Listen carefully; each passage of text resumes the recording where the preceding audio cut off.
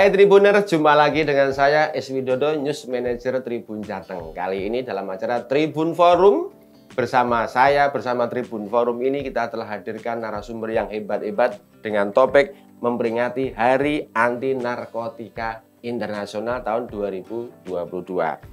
Topiknya, jargonnya jelas, War on the Drugs, perang melawan narkotika. Gitu ya Pak Kepala ya. Saya perkenalkan satu persatu. Di samping saya adalah Kepala BNNP Jawa Tengah yaitu Brigjen Pol Dr. Andes Purwo Cahyoko MSI. Selamat pagi, selamat siang Pak Kepala. Selamat siang. Assalamualaikum warahmatullahi wabarakatuh. Waalaikumsalam. Dan sebelahnya lagi yaitu Bapak Wakil Rektor 1 Universitas Muhammadiyah Semarang, Unimus, Pak Dr. Budi Santoso MSc Medicine. Selamat siang, Pak. Selamat siang, Mas Is. Selamat siang.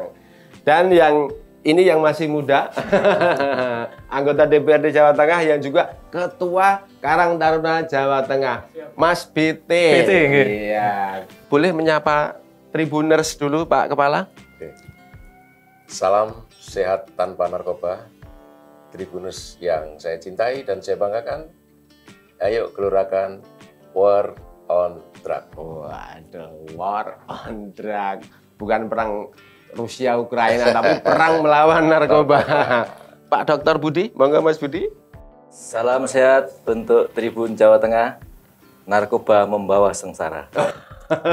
Ini meden-meden ini. Mas BT, monggo. Siap, selamat siang Tribuner, selamat siang juga warga Karangtaruna yang menyimak ini. Semoga dalam perang melawan narkoba ini di forum ini kita bisa membekali kawan-kawan dengan amunisi untuk perang itu. Terima kasih. Untuk perang ya. Minimal pemahaman tentang bahaya Narkotika. narkotika. Baik Tribuners, kita lanjutkan. Kita akan kupas hari ini tentang war on war on the drugs. Kita Pak Pak Purwo ya, Pak Brigjen Pol Purwo Cahyoko. Eh, gambaran tentang penyalahgunaan narkotika di Jawa Tengah seperti apa, Pak? Baik, terima kasih Mas Is. Eh, Kenalan sih. Mas Budi, Mas Budi. Mas BT. Mas BT. Eh, tentunya kita-kita ini semua menjadi pasukan ya, pasukan war on drug. Hmm. Bahkan mungkin komandannya, komandan war on drug untuk menggerakkan teman-teman tribuners untuk bisa benar-benar melawan narkotika. Eh, berbicara masalah narkotika di Jawa Tengah, yang pertama kita lihat dulu angka prevalensi di Indonesia pada umumnya ada peningkatan yang cukup signifikan dari tahun 2019 ke 2021. Di tahun 2019 angka prevalensi kita itu 1,8 persen, Hmm. kurang lebih 3,4 juta penduduk kita yang terpapar oleh narkotika. Nah, di tahun 2021 Hmm. Ada peningkatan menjadi 1,95 menjadi 3,6 juta penduduk kita yang terpapar. Hmm. 2019-2021 itu masa ada masa pandemi. Oh, iya. Masa pandemi justru tidak ada penurunan, bahkan ada peningkatan. Waduh, Nah, ini jaringan ini memanfaatkan situasi. barangkali situasi beliau berpikir ah para petugas ini lagi fokus masalah pandemi Hmm. sehingga mereka berupaya untuk eh, mengedarkan eh, narkotika yang ada di Indonesia. Nah, sedangkan angka prevalensi di Jawa Tengah Jawa sendiri, kalau berdasarkan urutan ranking provinsi Jawa Tengah itu menempati urutan ketujuh. Wah, ketujuh. Masih Ya. bagus ya. Ya. kalau kalau lomba itu harusnya nomor satu ya, gitu kan. Kita maunya jauh-jauh, Pak. Jangan- Jangan nomor tujuh, harusnya di bawah lagi. Oh, gitu ya. itu kurang lebih 1,3 persen sehingga kurang lebih 196 ribu sekian penduduk kita yang terpapar. Wah, banyak juga. Ya, 2019. 2019. 2021 ada peningkatan menjadi 1,31 sehingga kurang lebih 200, eh, seri- 197 ribu eh, penduduk kita ini terkena narkotika. Jadi angka prevalensinya itu meningkat, yaitu meningkat, meningkat terus. Hmm. Itu menurut data, yang kita ungkap. Hmm. Nah, kasus narkotika ini biasanya kan juga hanya sedikit yang bisa ter- yang terungkap seperti teori gunung es barangkali di atasnya, di Hmm. bawahnya masih banyak lagi. Nah, ini yang perlu menjadi perhatian kita yang ya kita-kita yang ada di sini Nggih.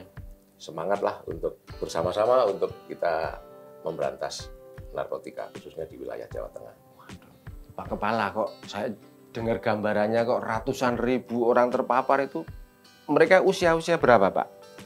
Mereka pada umumnya usia antara 15 Hmm. sampai dengan 60. All ya, berarti semua usia ya. Ya, semua usia. Persentasenya yang muda-muda atau yang tua-tua Pak? Persentase yang paling banyak adalah yang generasi muda. Wah, ini tugasnya Mas BT Ya. nanti. Padahal kita tahun-tahun ini sampai dengan tahun 2035 ya, atau 30 kita kan menyiapkan generasi-generasi yang nantinya menjadi generasi yang benar-benar bonus demografi. ya. Jadi bonus bukan demografi. bencana demografi. Iya. Hmm. Kalau bonus demografi itu artinya kan jumlah penduduk yang produktif kan sangat besar Iya. gitu. Penduduk yang produktif. Tapi kalau na- kena narkotika saat ini makin banyak tidak menjadi bonus lagi akan menjadi bencana. Waduh, Karena mereka pasti tidak akan produktif orang yang kena narkotika. Gitu. Pak Purwo, Nggih. dengan melihat prevalensinya tinggi begitu ya, apa Ya. saja sih upaya yang sudah dilakukan BNNP Jateng? Ya. Baik itu penindakan maupun pencegahan. Ya. Gimana Pak Purwo? Jadi dengan adanya peningkatan ini Oke. makanya pimpinan kita eh, kepala BNN RI Hmm. sudah tidak berbicara lagi stop narkoba, Tapi perang terhadap perang narkoba. melawan narkoba, Nah, itu. war on the drugs tadi. Di dalam perang itu kita memiliki empat strategi, Mas. Wah, apa saja Pak? Ya, strategi yang pertama bagaimana kita menurunkan angka permintaan Hmm. dengan pola pendekatan soft, ya soft power. Oh gitu. Ya, soft power itu kita laksanakan dengan eh, pola pencegahan, yaitu menginformasikan, mengedukasikan, membuat ketahanan diri, ketahanan masyarakat, ketahanan lingkungan, ketahanan eh, komunitas. Itu kita lakukan eh, pola-pola untuk meningkatkan ketahanan-ketahanan itu. Di samping itu juga kita melakukan eh, rehabilitasi terhadap para penyalahguna dan pecandu. Hmm. Itu kita lakukan rehabilitasi Hmm.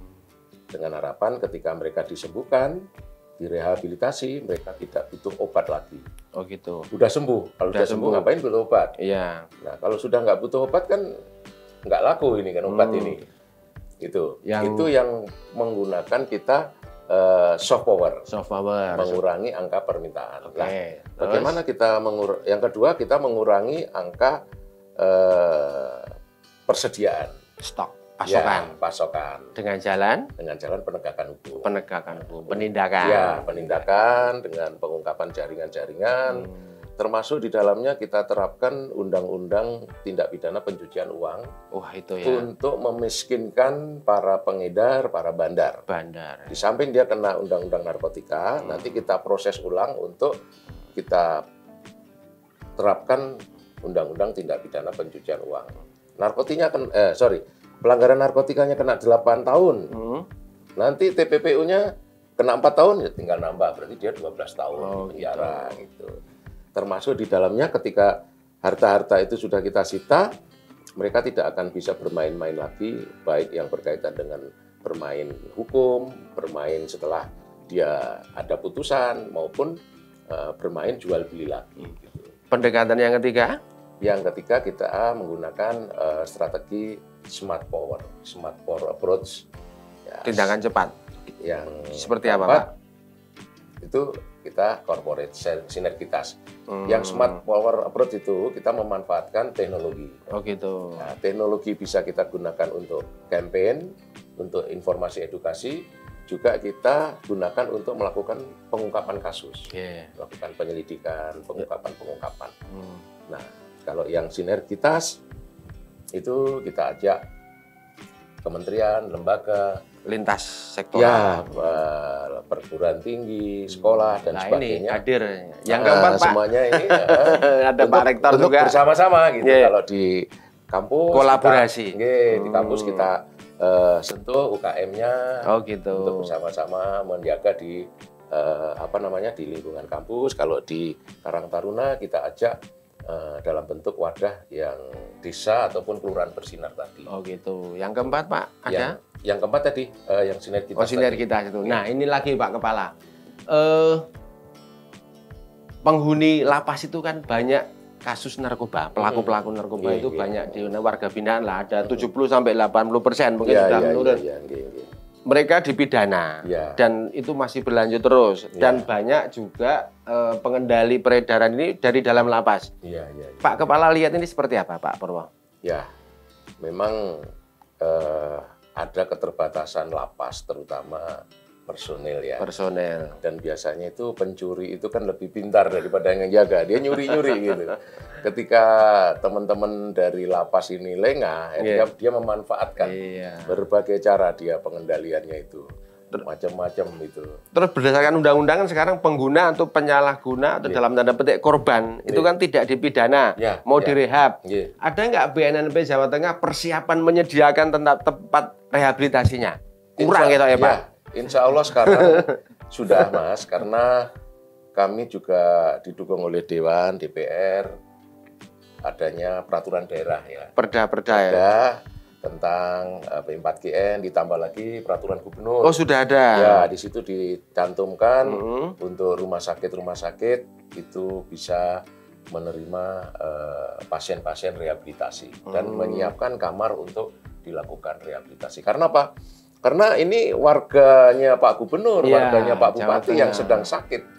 Itu sakit kecanduan, nanti Hmm. perlu dirawat, perlu disehatkan. Rumah sakit sudah menyediakan tempat rehab. Ya, sudah Ber, menyediakan ber- sekalian timnya ya Pak. ya, ya, Penyuluhan, penanganan ada. betul, ada. Oh, Itu- Boleh disebut di mana Pak? kita lakukan eh, apa namanya peningkatan kapasitas kompetensinya Hmm. dengan kita datang untuk lakukan latihan-latihan gitu ya. Di Rumah kabupaten sakit- mana? Rumah sakit di sini sudah ada. Oh sudah ada di, di sini ada tiga rumah sakit ya di Semarang ini, Mana Pak? Mm-mm, termasuk rumah sakit jiwa juga ada sudah. Yang Gondo Amino. Oke, ya, betul. terus rumah sakit sini apa namanya? Ketileng, Eh, Wongsonegoro.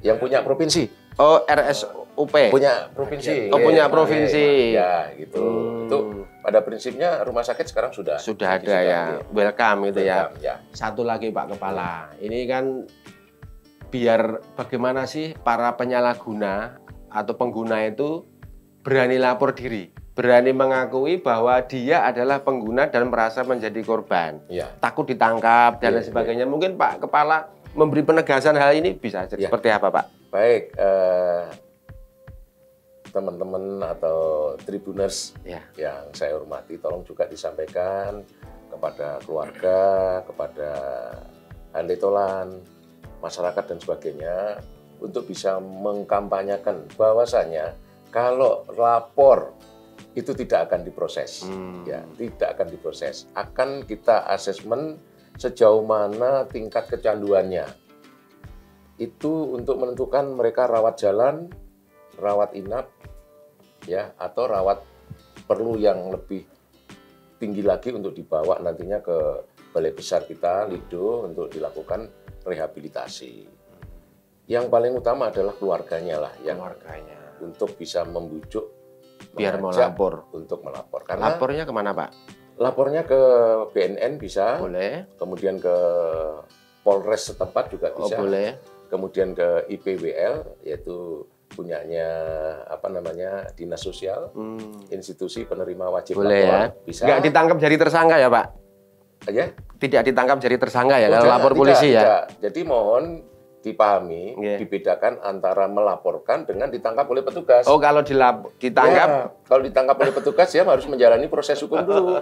Kalau lapor Nah, sendiri, kalau lapor sendiri eh, insya Allah tidak diproses justru langsung kita bawa untuk kita ini obati. teman-teman yang barangkali ada sudah terlanjur tergoda penyalahguna narkoba, monggo lapor tidak ditangkap akan Ya. diberikan penanganan yang lebih Oke, dan baik. yang paling penting keluarga itu harus paham Hmm. kalau tidak melaporkan ya keluarga itu justru kena bisa diancam dengan hukuman Oh gitu enam ya. bulan. Sak keluarganya sisan. Iya, enam bulan.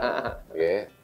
Nah, sebaiknya dikomunikasikan dengan korbannya dibawa baik-baik ke BNN, insya Allah kita proses, kita layani.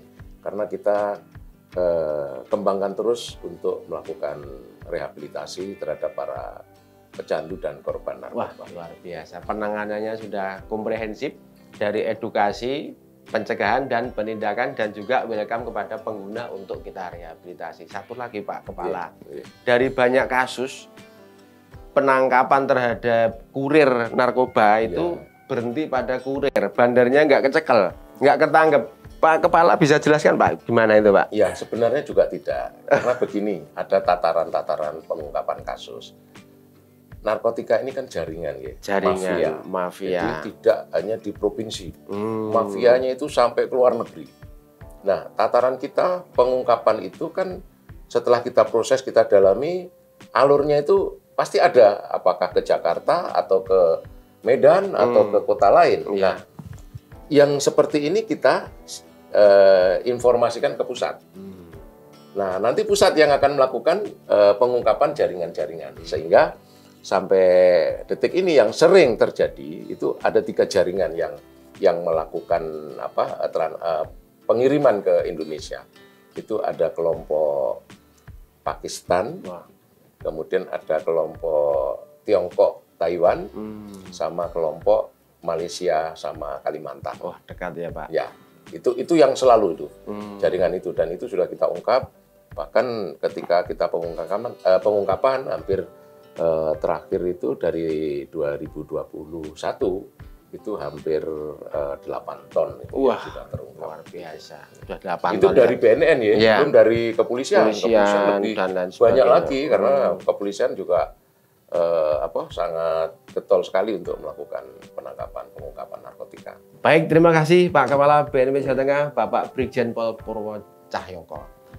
Sebelum kita lanjutkan kepada Pak Wakil Rektor Unimus, kita simak video tentang BNNP Jawa Tengah berikut ini.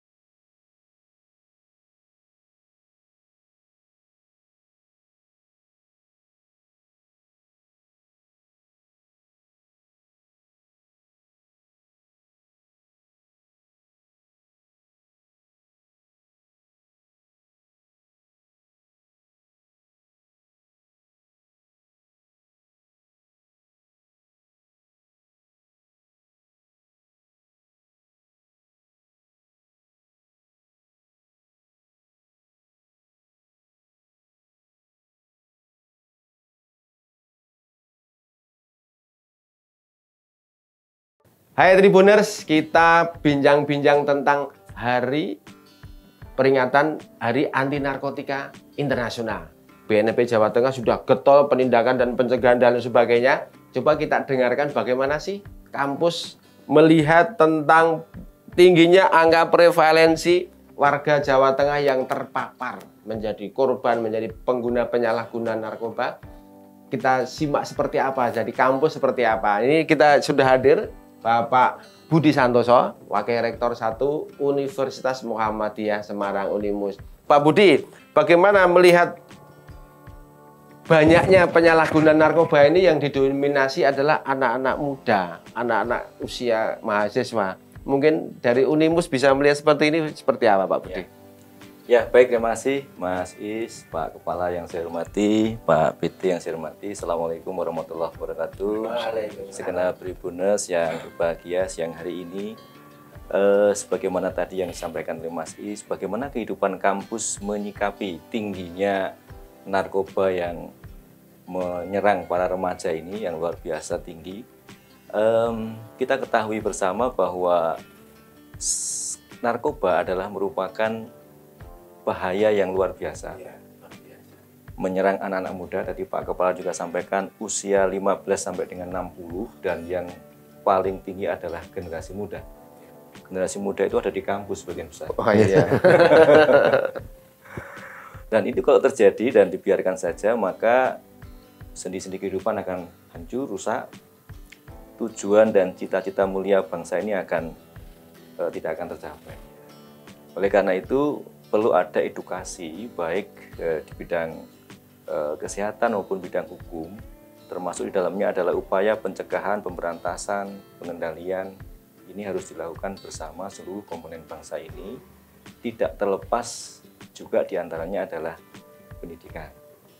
Nah, di kampus, di pendidikan ini, eh, tentunya kita mengacu pada Undang-Undang Sistiknas, bahwa tujuan pendidikan itu adalah mendidik generasi atau peserta didik untuk menjadi manusia yang bertakwa kepada Tuhan Yang Maha Esa, berakhlak mulia, jujur, kreatif, inovatif, menjadi warga negara yang demokratis dan tentunya adalah menjadi warga negara yang bertanggung jawab.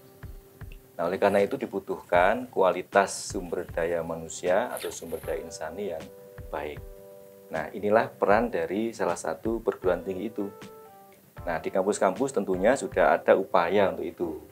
Di antaranya adalah menghadirkan seperti Pak Purwo, Pak Kepala ini hadir di kampus ini untuk memberikan sosialisasi bahaya narkoba itu di kampus. Sudah ya Pak Kepala ya? Oh sudah. Kita tambah lagi harus lebih eh, menekankan itu karena saya belum punya datanya Pak Kepala berapa mahasiswa yang terindikasi sebagai penyalahguna Iya. narkoba ini saya belum punya datanya nanti kalau Pak Purwokerso nggak kasih saya mudah-mudahan di kampus kami tidak ada ya Mudah-mudahan Nanti tidak WA ada. saya ya Pak. Ya. Nah, ini yang menjadi penekanan. Jadi di antara eh, selain UKM juga upaya-upaya untuk itu. Nah, di dalam eh, apa ya namanya eh, standar nasional pendidikan tinggi itu sebenarnya sudah ada beberapa mata kuliah yang bisa digunakan untuk mem- me- me- membangun karakter mahasiswa. Hmm, contohnya apa Pak Ada Budi? Pancasila, Oh, kewarganegaraan. ada agama. Itu wajib setiap institusi pendidikan tinggi wajib melaksanakan mata kuliah itu Kalau di Unimus berapa SKS Pak Budi? Kewarganegaraan, Pancasila. minimal dua SKS Minimal tapi dua. di, di Unimus itu untuk agama karena kita Oh, lembaga kemuhammadiyahan Islam, ya. itu ada delapan Delapan. SKS, ya Dua, dua, dua, dua sampai semester akhir Iya, ya. sampai akhir. Hmm. Terus kalau di unit kegiatan mahasiswa ada nggak di Unimus yang sudah fokus ke edukasi pencegahan? di UKM itu ada ya sudah ada dan beberapa kali kita juga menyelenggarakan kegiatan-kegiatan yang memberikan pencerahan kepada mahasiswa untuk penanganan anti narkoba ini. Oh gitu ya, berarti sudah mulai ya, sudah sosialisasi sudah ya. Ya. Kami juga ada kegiatan namanya mentoring, mentoring untuk pembinaan karakter. Eh, ini dimaksudkan juga untuk membentengi mahasiswa kami agar tidak terjerumus ke sana. Karena bagaimanapun narkoba ini bisa masuk ke mahasiswa melalui berbagai cara ya.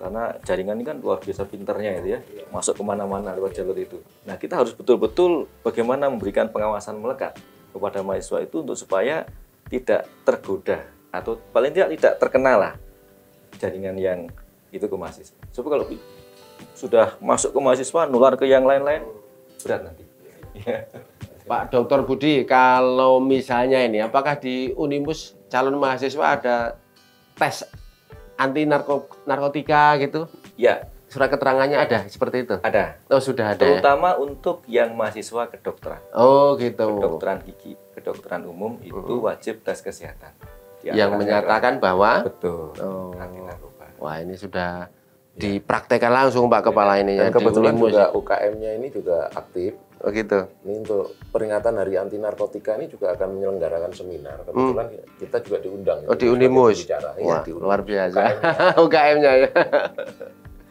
Terus Pak Budi, kalau menurut jenengan sebagai akademisi, kenapa mahasiswa ini kok eh, menjadi sasaran utama penyalahguna narkoba? Kurir-kurirnya atau pemasarannya itu kok membidiknya ke kampus-kampus. Kenapa Pak? Jadi mahasiswa itu berada pada tataran usia antara 18 sampai dengan berapa ya? 22, 23 23 ya. lah ya.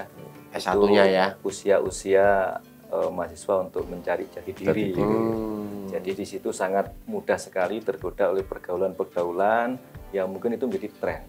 Nah, sehingga nggak tahu kan ini tren kan ikut saja kan itu ya. Nah itu yang barangkali eh, satu faktor yang eh, bisa mempercepat atau mempermudah penyebaran narko- narkoba di antara generasi muda itu. Nah ini inilah pentingnya bahwa kita harus membentengi generasi muda itu dari berbagai jurus, berbagai cara agar supaya dia bisa masuk. Gitu ya.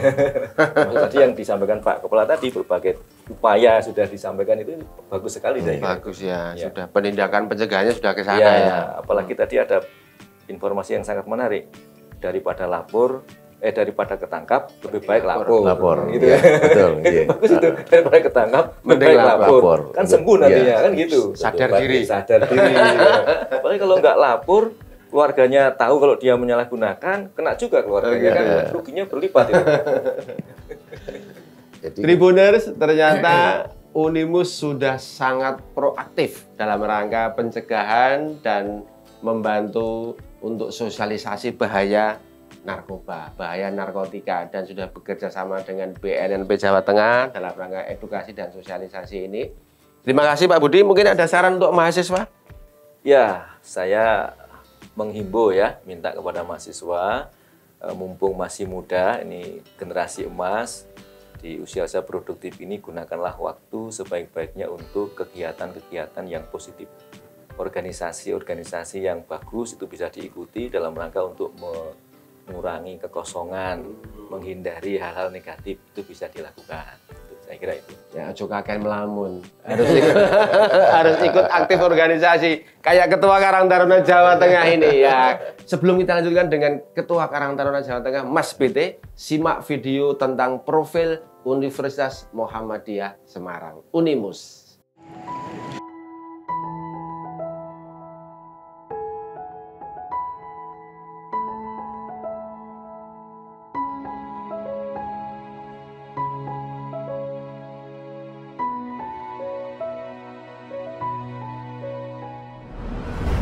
Universitas Muhammadiyah Semarang berlokasi di Kota Semarang yang merupakan ibu kota dari Provinsi Jawa Tengah. Hadir untuk mendukung upaya peningkatan mutu pendidikan di Indonesia. Memperoleh pengakuan prestasi dari berbagai pihak di antaranya akreditasi institusi dengan nilai baik sekali dari Badan Akreditasi Nasional Perguruan Tinggi atau BAN PT serta masuk 10 besar peringkat nasional perguruan tinggi penerima hibah penelitian BOPTN atau non PTNBH tahun 2021 kategori klaster utama. Selain itu, Universitas Muhammadiyah Semarang juga meraih sertifikat Sistem Manajemen Mutu ISO 9001 tahun 2015. Setiap fakultas difasilitasi dengan sarana dan prasarana laboratorium yang lengkap serta berkualifikasi melakukan uji laboratorium bagi pihak eksternal, baik perusahaan maupun lembaga pendidikan lainnya. Universitas Muhammadiyah Semarang memiliki 8 fakultas dan satu program pasca sarjana yang terus melakukan inovasi pembelajaran guna menghasilkan lulusan yang berkarakter, unggul, cakap teknologi, dan komunikasi serta berwawasan internasional.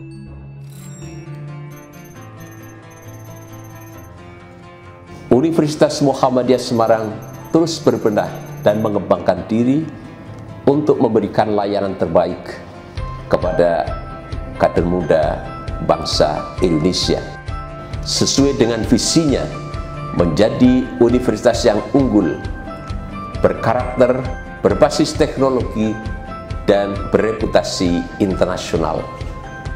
Universitas Muhammadiyah Semarang terus berkontribusi dalam pembangunan bangsa melalui catur dharma pendidikan tinggi Muhammadiyah yaitu pengajaran, penelitian, pengabdian masyarakat dan sudah tentu adalah sosialisasi dan internalisasi nilai-nilai al-Islam dan kemuhammadiyahan.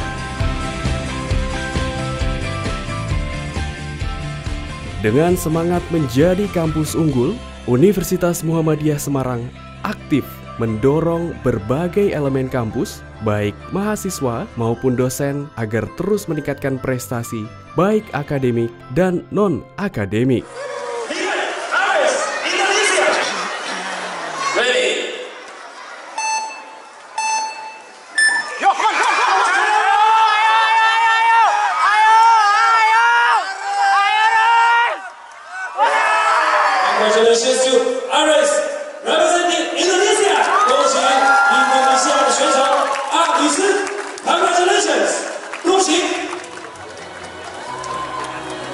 Jaringan kerjasama internasional Universitas Muhammadiyah Semarang telah menjangkau lebih dari 10 negara serta lembaga pemerintah dan non-pemerintah. Lebih dari 22 tahun Universitas Muhammadiyah Semarang mengabdi dan mengamalkan secara optimal energi untuk Indonesia berkemajuan. Unimus, a university for the excellence.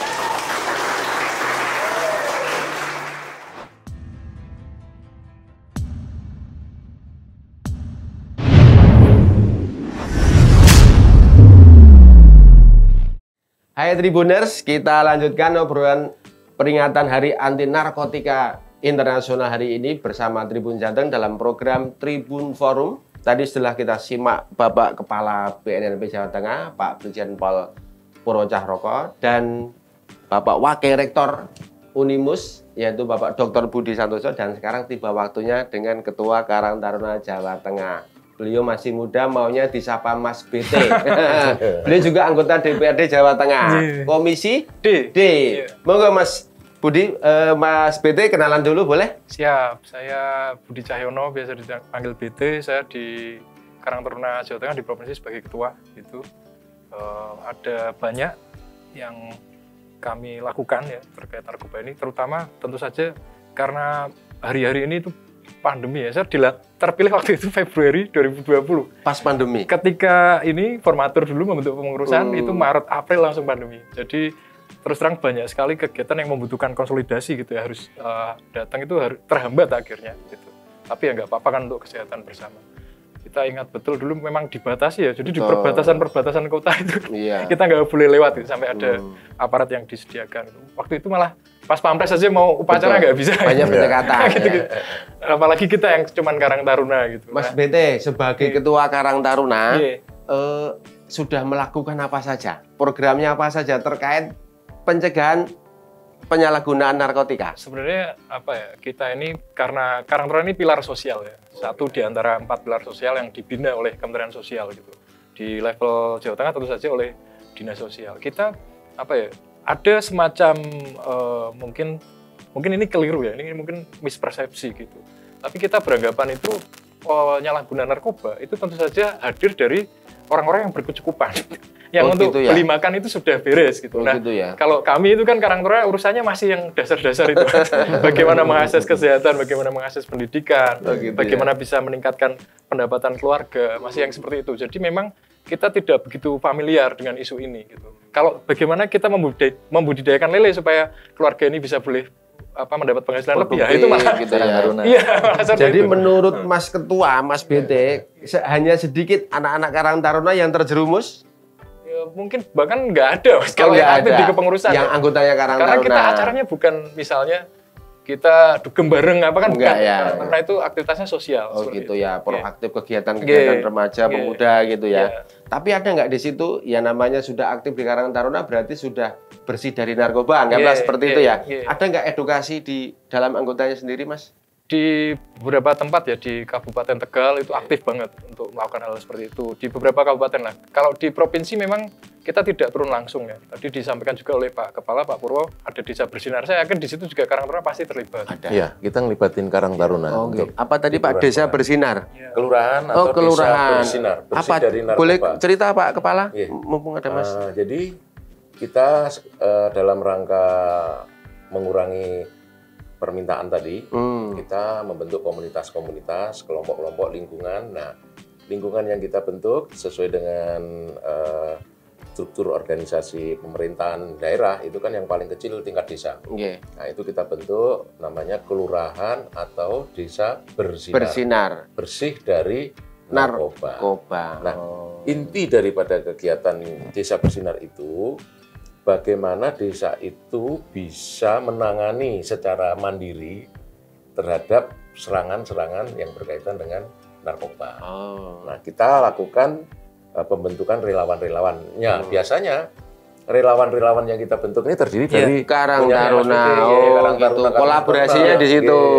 Nah, Karang Taruna ini kita bekali tentang edukasi bahaya narkoba. Hmm. Yang nanti ini menjadi cikal bakal mereka untuk mengedukasi warganya juga, Hmm. teman-temannya gitu. Oh, gitu Nah, ya. termasuk di dalamnya Karang Taruna sesuai dengan karakter penilaian kita, kita pilih untuk bisa menjadi agen pemulihan. Oh. Nah, itu juga dari Karang Taruna. Taruna. Mas Iya. BT bisa cerita, mungkin Itu. sudah ada berapa yang jadi tim Jadi- untuk edukasinya dengan teman-teman sebaya seperti yang Pak Purwo sampaikan tadi? hampir hampir semuanya jadi kalau Karang Taruna itu kan organisasi yang paling gendut ya paling gemuk lah di Paling gemuk ya. Indonesia ini anggotanya ya. Aduh. Karena kita menurut Permensos 25 itu kan stelsel pasif. Jadi otomatis kita nggak perlu mendaftar sudah Karang Taruna. Jadi negara-negara yang usianya 13 sampai 45 Oh. Saya termasuk tahun. Karang Taruna nih, Mas. Iya, itu otomatis di luar kan- ya. Iya, Pak Budi juga tinggal aktif atau tidak gitu Oh, saja. gitu Kalau ya. aktif ya di kepengurusan, gitu. kalau enggak ya. Iya, Kalau biasa. di eh, Semarang ini kelurahan Grobogan, kelurahan Purwoyoso, ada empat kelurahan yang sudah kita Sudah. bentuk. Desa bersinar, Iya, kelurahan bersinar. Untuk Oh. untuk Semarang gitu. Iya. Tapi kalau tadi saya cerita sama Mas Is untuk secara keseluruhan di provinsi ini baru terbentuk 51 eh sorry 53 Desa bersinar. bisa bersinar. Untuk tahun 2022 ini target saya Berapa? Pak? 60. 60. Iya. Tambah lagi atau ta- tinggal tambah 7?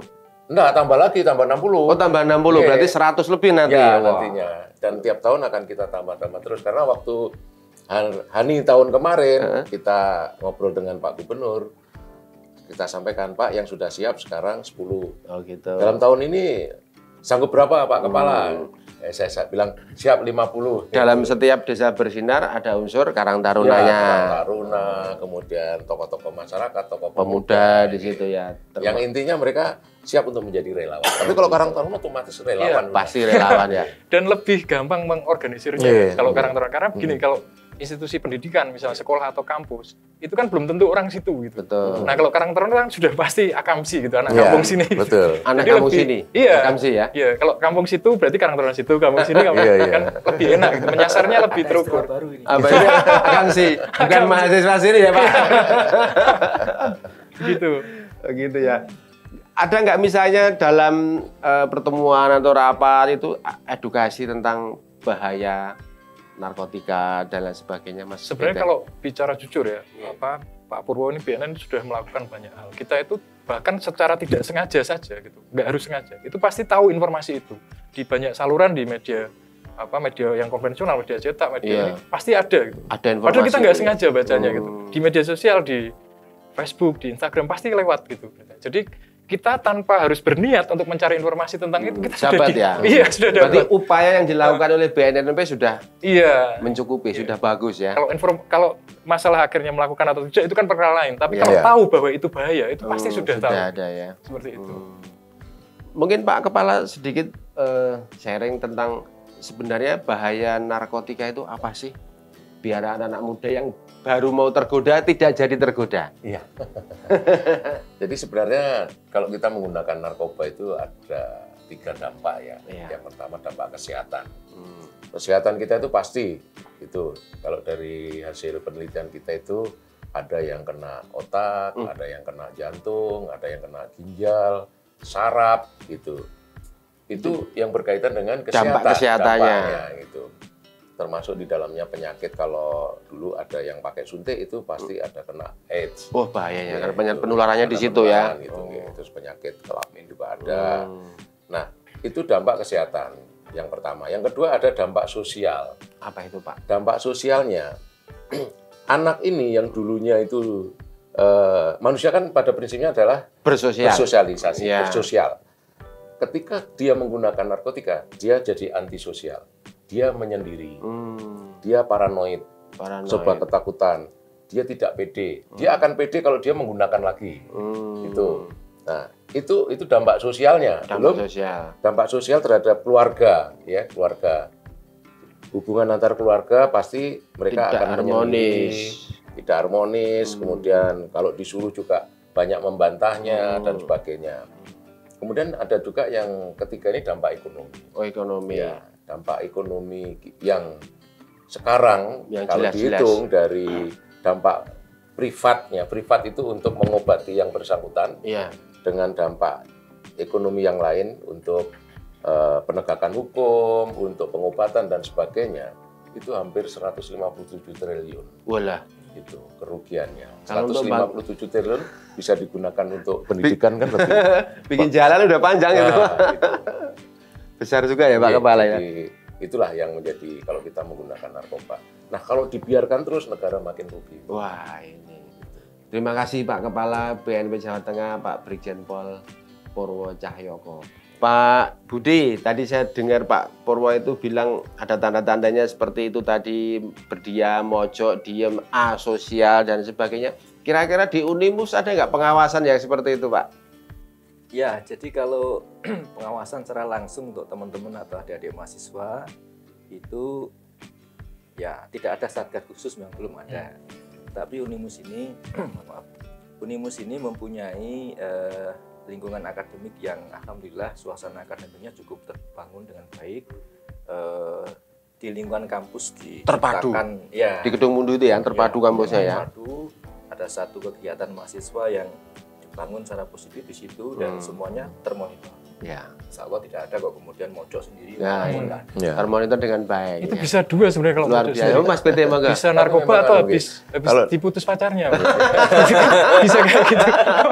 Sementara ini yang kita ungkap itu tidak di kampus. Oh, gitu ya? Rata-rata mereka gunakan di kos. Wah lah di ini. tempat-tempat kos Iya, gitu. iya, Nah, dari adik-adik mahasiswa yang kita tangkap gitu tuh tidak menggunakannya di kampus, di tempat kos. Oh gitu ya.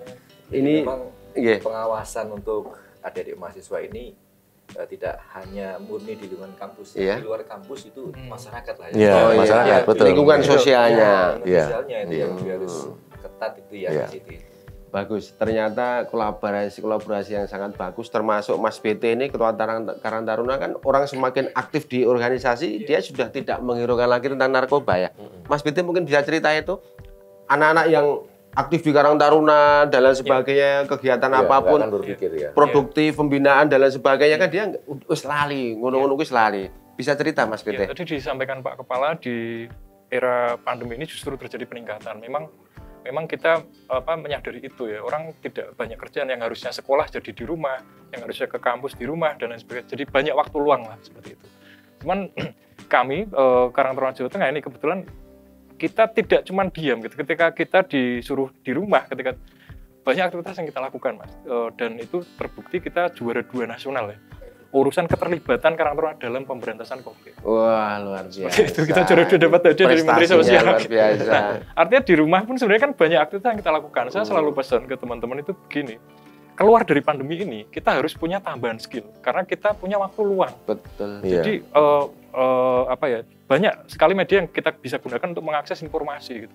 Misalnya dulu kamu nggak bisa gitar, nah sekarang kamu tuh punya kesempatan satu tahun di rumah nggak ngapa-ngapain, gunakan untuk Tambah belajar skillnya. gitar misalnya. Atau kamu nggak bisa nyetir, atau kamu nggak bisa pengen punya pengetahuan tentang apa pun lah. Misalnya yang lebih rumit dari itu coding, komputer apa dan kan kita punya banyak waktu, lah gunakan untuk itu, jangan yang yang tidak bermanfaat gitu Iya, untuk kita. dengan hal-hal yang positif. Positif. Iya. Iya, Positif. betul. Seperti itu. keinginan-keinginan yang seperti itu. Nggih. Dulu di zaman awal-awal tuh orang masih ini ya, ada melihat korban Covid gitu, wah, dihindari, dia- ada stigma tertentu. Iya, benar-benar. Nah, Karangtaruna sudah tidak. Kita dengan pemahaman kita berani terlibat sampai apa memandikan jenazah itu Berani kita ya. berani. Mas. Ada pembinaan ke situ Iya, ya. kita berani gitu. Yang lain belum berani, kita sudah berani duluan. Itu yang bikin kita juara waktu itu, Mas. Kita coba simak luar biasa selama pandemi ini tadi angka prevalensinya naik, kemudian aktivitas Karang Taruna juga makin bagus, skillnya bertambah, bahkan juara dua nasional Iya, ya, Mas iya. PT. Selamat ya, Mas PT ya Siap. untuk Karang Taruna Jawa Tengah. Terus di kampus apakah juga karya-karya ilmiahnya juga bertambah, Mas Pak Budi? Ya, jadi kalau saya amati di tempat kami ini khususnya ya, karena di kondisi pandemi kan tidak bisa pembelajaran luring ya, kita harus daring. Nah, dosen-dosen terutama, Ya. dosen-dosen itu mempersiapkan pembelajaran daring itu di- dari rumah. Kita atur jadwal ke kampusnya. Nah, dari eh, pembelajaran yang seperti daring itu ternyata memacu dosen untuk menulis. Hmm, iya. Dia karya ilmuwan juga meningkat.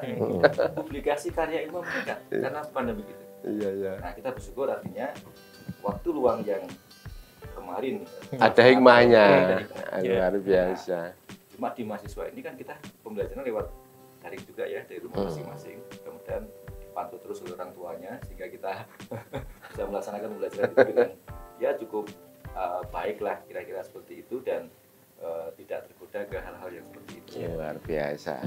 Sat, tambah lagi sedikit tadi sebutkan ya, kalau mahasiswa menyendiri di pojok ditolak atau apa? sama enggak kalau pojok di pojok-pojok kampus sendiri itu itu mungkin termenung mencari ilham Oh iya, bisa jadi itu mencari inspirasi. Judul skripsi Cari topik yang mau digarap apa? itu juga. Bisa itu juga. Belum tentu narkoba pokoknya. narkoba sama tenang Pak kepala. Tribuners, obrolan kita pada Tribun Forum ini sangat luar biasa. Pak Kepala BNNP juga sangat agresif dalam edukasi dan pencegahan dan maupun penindakan. Kemudian dari kampus, Pak Wakil Rektor Unimus juga luar biasa. Mas BT ini Ketua Karang Taruna Jawa Tengah ternyata sudah jauh-jauh hari ini dalam hal upaya edukasi terhadap bahaya pencegahan narkoba. Tribuners, kita saksikan Tribun Forum pada topik yang akan datang. Dan jangan lupa simak terus di tribunjateng.com, di media sosial YouTube maupun di media sosial. Ini segera tayang. Sampai jumpa dan terima kasih. Sebelumnya kita closing statement dulu dari Bapak Purwo. Monggo Pak Purwo. Tribuners yang saya hormati dan saya banggakan, ayo bangun Jawa Tengah menjadi Jawa Tengah yang betul-betul bersih dari narkoba, sehingga akan terwujud Jateng benar-benar gayeng. Power on track. Terima kasih Pak Kepala BNP Jawa Tengah. Pak Wakil Rektor Unimus, closing statement untuk mahasiswa mungkin monggo. Baik, Tribuners yang berbahagia, yang saya hormati, adik-adik mahasiswa yang saya cintai. Sebagai mahasiswa, saya pesan kembangkanlah suasana akademik di kampus itu terbangun dengan baik. Belajar dengan tekun, jauhi narkoba, karena narkoba itu membawa kesengsaraan. Lakukan kegiatan-kegiatan positif sehingga tidak ada lagi waktu luang untuk berpikir negatif, apalagi menyentuh narkoba. Ingat, kalau Anda kena narkoba, hilang masa depan Anda. Terima kasih. Baik, terima kasih luar biasa closing statement dari Bapak Wakil Rektor Unimus Pak Dr. Budi. Satu lagi Bapak Mas Dani. Ini biasa Mas BT, Ketua Karang Taruna Jawa Tengah. Monggo closing statementnya Mas BT. Kalau dari kami ya, kita sangat apa mengapresiasi ya kerja BNN gitu. Eh, sekarang ini kan banyak anak-anak muda umuran Karang Taruna itu punya patron gitu. Jadi kita eh, berperilaku itu melihat dari patron-patron itu, dari apa banyak public figure lah seperti itu. Nah, dengan BNN ini sekarang banyak menindak gitu public figure, kita jadi belajar gitu. Kita jadi lihat gitu, oh ternyata tidak boleh yang seperti itu. Nah, itu saya harapkan tetap eh, dikerjakan terus gitu. Karena kita sering mendengarnya itu justru orang yang tidak di sekitar kita sebagai anak muda, tapi dari orang jauh gitu.